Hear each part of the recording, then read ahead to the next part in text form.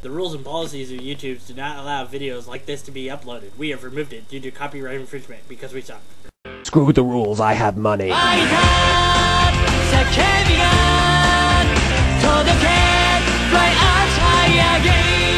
probably get removed for having this video.